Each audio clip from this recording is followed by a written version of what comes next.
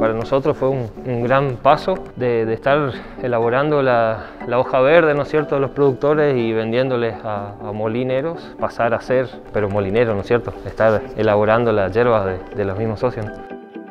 Entonces el productor, eh, él es el que, es dueño de esta cooperativa y él es dueño de su producto también.